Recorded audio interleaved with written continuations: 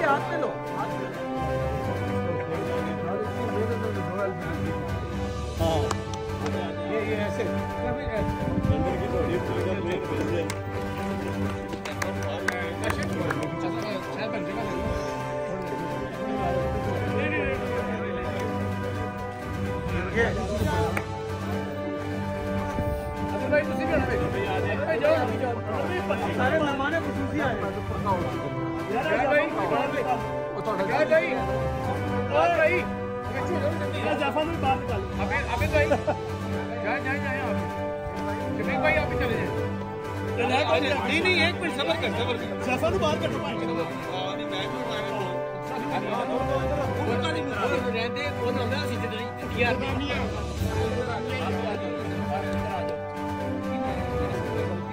ਇੰਤਜ਼ਾਮੀਆਂ ਦੀ ਯਾਰ सौ की लीड से मैच आए थे बहुत खूबसूरत शानदार नवाद और एट द